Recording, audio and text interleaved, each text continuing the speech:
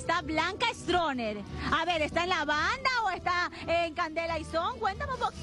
A ver, es que yo creo que ustedes confundieron las cosas, las cosas no se tomaron como deberían.